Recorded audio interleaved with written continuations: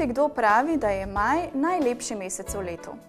Prebojena narava je odeta v sveže barve vseh odtenkov in povsod je čutiti življensko energijo. A letos je to lepoto nekoliko zatrla epidemija in karantina, ki je trajala že drugi mesec. In zato je bilo pravo olajšanje, ko je vlada v drugi polovici maja umaknila večino ukrepov in življenje se je počasi vračalo v stare tirnice. Situacija epidemije je najmanj prizadela tiste, ki živijo sredi neokrnjene narave in ki nimajo veliko stikov z gnečami v mestih in drugih urbanih središčih. En od takih oaz smo obiskali in pripravili prispevek. 20. maja je bil Svetovni dan čebel, ki je bil razglašen na pobudo slovenskih čebelarjev. Ker jih imamo v naši okolici veliko in ker o koristnosti čebel ne gre izgubljati besed, smo jim tudi mi posvetili pozornost z naslednjim prispevkom.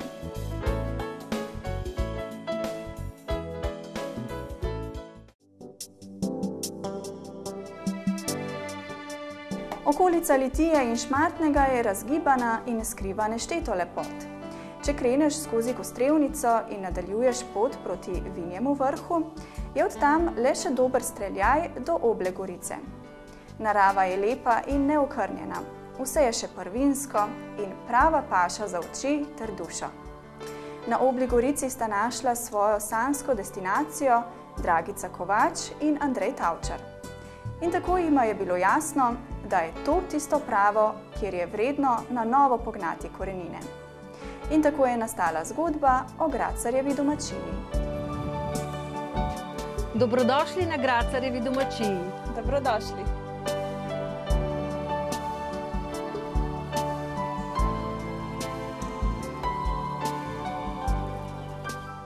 Tole domačijo sva našla z možem, ko sva potovala po Sloveniji in iskala lepe kraje. Izkazalo se, da je ta domačija čakala na najo. Kupila sva jo, preuredila skoraj 300 let staro hišo, jo prenovila, nisva želela podreti, ker nama je takšna gradna všeč. Potem sva zgradila eh, še eno stavbo, kamor sva se odločila eh, dati apartmaje. Želela sva nadaljevati s turizmom, mož je namreč že v Ljubljani imel gostilno. Naša eh, domačija je tako dobila dušo in srce. Otroka, ki sta odraščala na njej, sta spoznala lepoto narave, ne samo mesta. In zdaj sta oba pripravljena nadaljevati našo zgodbo. Gracareva domačija, eh, ko sem sledila njeni zgodovini, sega precej, precej, eh, skoraj 500 let v zgodovino nazaj, zato smo ohranili njeno ime, nismo jo spreminjali. Gledamo pa predvsem na to, da gostu ponudimo neokrnjeno naravo, tišino, prostor za sprostitev, pa tudi ukvarjanje s športom. Kar se hrane tiče, imamo kar precej velik vrt, kjer pridelava s čerjo praktično vso zelenjavo, ki jo potrebujemo, eh, tudi za čez zimo znava pripraviti marsikaj. Kar se pa tiče mesnin, vse pridelamo, pri, priredimo doma. Imamo svojo svinino, meso, drobnice in praktično ne potrebujemo ničesar drugega iz trgovine. Na en način smo skoraj samozadostni. Uh, glede na to, da imamo uh, kmetijo, predvsem za živalmi, nimamo niv. To mi manjka, ampak na teh strminah nivo danes, uh, kjer bi recimo eh, pše, pšenico posajali za svoje potrebe, je praktično ne moreš. Razen, če bi na roke želi, uh, če bi na roke vse, to pa ne gre pri tem tempu življenja. Tale karantena, ki je trajala kar nekaj časa, se pri nas praktično ni poznala, kar se tiče dela, ker smo odmaknjeni, ker ne živimo v strnjenem naselju, nismo nikogar uh, ogrožali, nismo uh, imeli nobenih težav s tem. Uh, izkoristili smo čas, predvsem se je poznalo, da sta doma tudi sin in hči. Um, renovirali smo polovico vrta, polovico smo pustili za naslednje leto, da ne bi ostali brez uh, pridelka. Uh, postavili smo uh, rastlinjak, ki ga prej ni bilo pri hiši. Asfaltirali smo en del zemljišča, skratka, veliko novega se je naredilo, še nikoli, še nobeno pomlad se ni toliko naredilo, seveda ob pomoči naših pridnih otrok. Področje um, Gracareve domačije, kot vidite, stoji na, hrib, stoji na vrhu hriba in je predvsem skalnato. Zemlja tukaj je zelo, zelo slaba, uh, skoraj uh, glinena. Uh, zato je bilo predelovanje zelenjave izredno težko. Tako sva se z možem dogovorila, ko sva videla uh, visoke grede, sva proučila, kako to poteka vrtnarjanje in mož jih je sam začel izdelovati tako da je lahko zemljo narediš po svojih, uh, po svojih željah, kakršno potrebuješ. Notor raste vse, mi smo navdušeni, pa še sklanjati se ni treba, da ne boli hrbet. Predvsem se je treba znati prilagajati uh, v turizmu, pa letos še posebno, uh, prilagajati času. Ne? ne vem, se bo, kako se bo to odvijalo, sploh še nismo razmišljali o tem. Če bojo prišli gosti z voucheri, seveda jih bomo sprejeli in poskrbeli za nje, tako kot povsod v turizmu, kjer se trudimo za goste. Kar se tiče državne pomoči za uh, turizem, sigurno, da to obstaja, če to znaš poiskati. Mi se, to, uh, dosedaj, mi se tega do sedaj še nismo posluževali. Nekajkrat sem bila na sestankih v zvezi z turizmom v Šmartnem pri Litiji. Govorili smo o enotnih tablah, že pred leti, pa še danes od tega ni nič. Na naši kmetiji bi potrebovali za nadaljevanje turizma neko manjšo restauracijo ali zajtrkovalnico, kjer bi lahko gostje bili postreženi. Ščerka bo letos diplomirala na višji gostinski šoli v Ljubljani in potem želi prevzeti to kmetijo, njen turistični del, seveda ob najni pomoči in podpori, in bi rada v, to, v našo ponudbo vključila tudi prehrano. Zato ta prostor nujno potrebujemo. Uh, imamo pa neke težave z lokacijo te, te zajtrkovalnice. Upam, da se bo to uredilo da bojo na občini prisluhnili naši želji. Pozdravljeni, moje ime je Dora. S konji se ukvarjam že od malih nog, to je moja velika ljubezen. In ko sem bila majhna, sem že naredila v jahalni šoli izpit jahač 1 in izpit jahač 2. Potem so me starši vozili v stožice trenirati preskakovanje v ver in dresurno jahanje. Potem sem se pa odločila, da bom to znanje širila naprej, ker to je nekaj najlepšega, tako le živaljo. Sploh, ko greš na teren in raziskuješ naše dolenske griče, a ne frajer. Ja. Gostom nudimo jahanje v maneži ali na terenu. Jaz uh, že dolgo učim, mislim, učim. Učim jahati otroke, starejše, kdorkoli pač pride, ga z veseljem posadim na konjski hrbet in mu pokažem, kako je lahko čudovito življenje. Že dolgo razmišljam, da bi imela eh, šolo jahanja, organizirala bi tečaje za otroke, v bistvu tabore za otroke, da bi lahko prišli in jezdili pri meni. Um, tečaji bi bili nekje od 8 ure do 4 popovdne, tako da bi starši lahko otroke pustili tukaj. To sploh ni problema. Lahko bi jim postregla s hrano, s pijačo. Uh, v bistvu pokažem, kako se skrbi za konja, kako se oskrbuje vse to, uh, kida, tudi to gre zraven, krtači ga in vse te stvari, potem pa seveda pride tudi jahanje na vrsto. V bistvu sprejemam otroke, ki so nekje pet let, pet let starejši od pet let. No. E, seveda, če so mlajši, imam tudi ponija, ki je na pašniku, ampak ta kubila je tako umerna, da z veseljem kogarkoli gor posadim. No. Tudi majhne otroke in sploh ni problem. Da se pa res učijo jahati, morajo biti pa malenkost starejši, da se on lahko drži na konju sploh. Ne.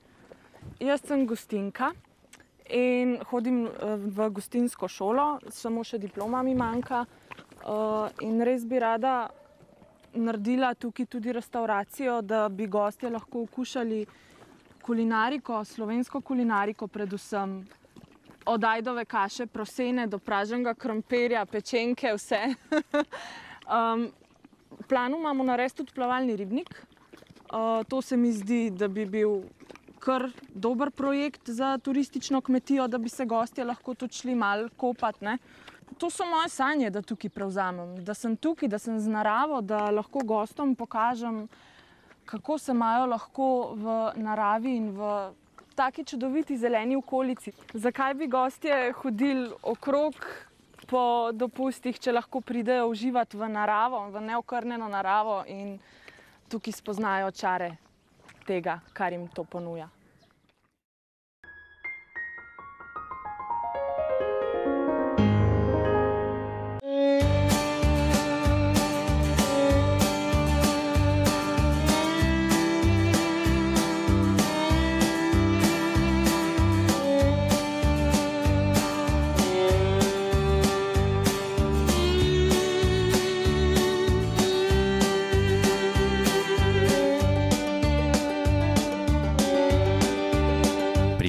Privoščite si najboljše. Privoščite si naravo. Trgovina Narava v EVJ centru Kisovec.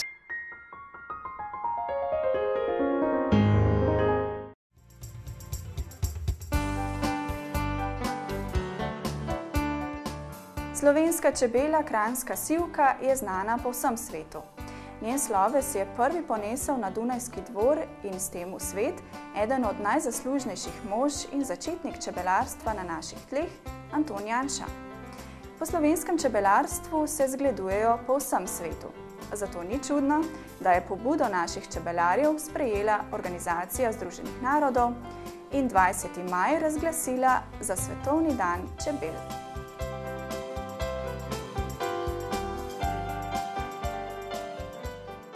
Svetovni dan čebel je kar precej pomemben za čebelarje, s tem si povečujemo, to je promocija za čebele, obenem si tudi osveščenost ljudi, predvsem glede škropiv.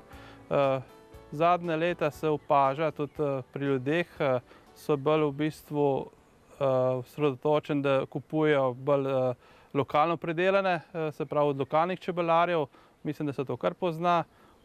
Pozna se tudi v bistvu uvoz medu, čeprav je še zmeraj velik, ampak nekje zdaj se tudi Čebelarska zveza prizadeva, da bo mogel na kozarcu biti označen, iz kje prihaja med, ne. Ne samo, da je iz EU ali pa izven EU, ne, da je prav država označena. To v bistvu, to, to se, to je pozitivno od tega svetovnega dneva čebel, ne.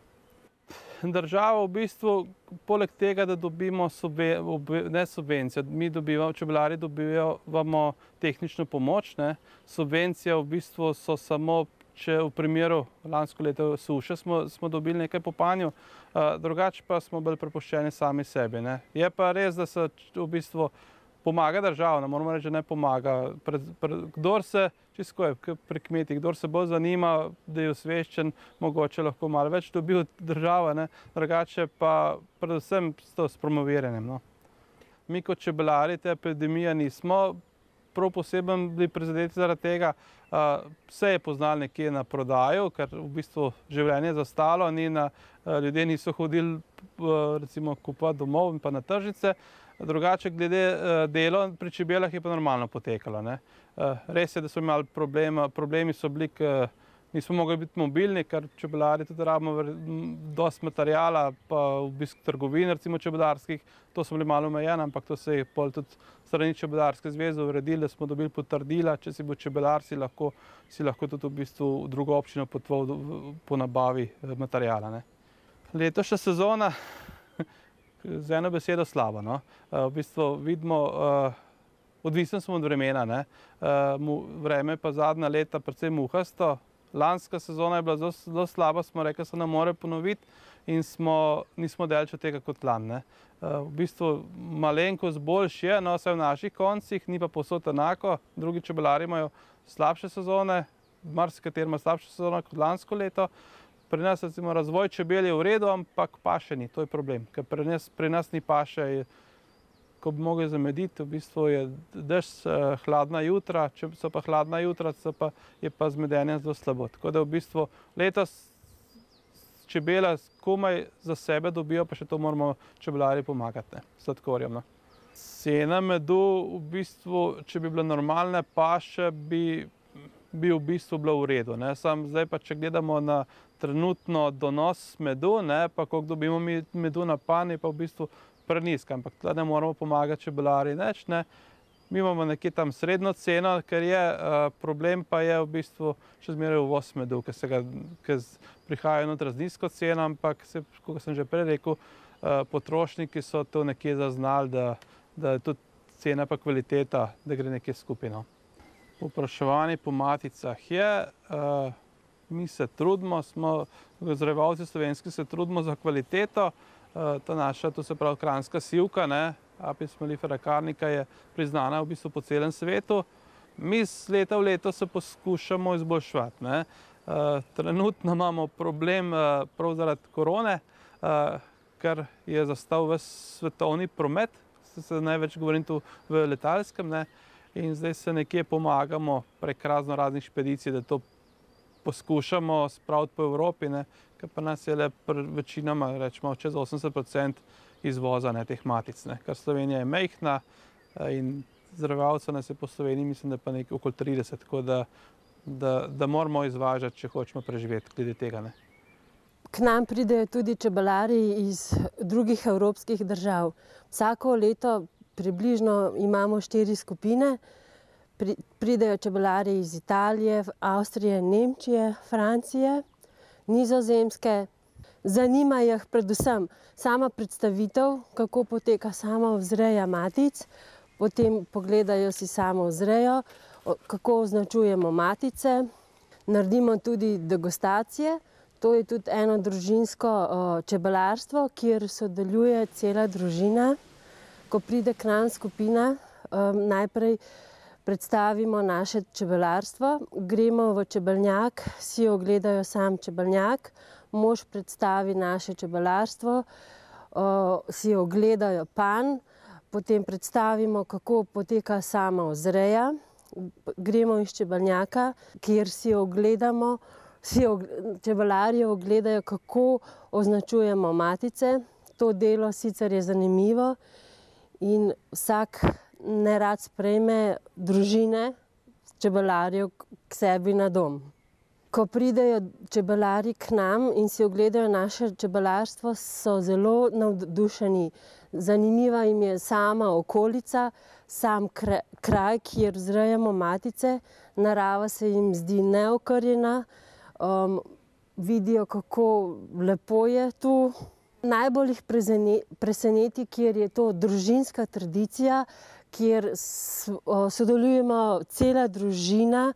Bili smo že v Romuniji, Srbiji, Dalmaciji, na Madžarskem. Sama predstavitev v drugih državah se mi ne zdi tako zanimiva uh, kot pri nas. Ja, apiterapija uh, je širok pojem. Ne? V bistvu jaz, jaz pa moj sin sva imela že tudi tečaj za apiterapijo, tako da smo to že naredila. Uh, Večina ljudi se apiterapijo predstavlja pod nekakšnim masažem, piki, to, to, ampak eh, v bistvu apiterapija je predvsem uporaba, pravilna uporaba čebeljih pridelkov. Ne. Eh, in mi, seveda, mi se s tem namenom smo tudi ta tečaj naredili, da znamo eh, potrošniku svetovati. Je pa poleg tega so pa tudi po še, rečemo lahko, medene masaže, zelo aktualno, ampak tudi v enem navarno je zdravljenje za čebeljimi piki. Ne. To mora biti človek zelo osveščen, da, da to lahko dela. Ne. Uh, drugače pa ja, smo, mi se tudi vse nek, nekje trudimo, da bi šli v to smer. Ne. Samo glede na to, ker imamo zrejo matic, pa vse je v bistvu nam zmanjkuje časa. Ponosni smo na sam način dela, ki ga imamo v Sloveniji in pri nas doma. Zato prav lepo prisrčno vabljeni, da si ogledate naše čebelarstvo in naš način dela.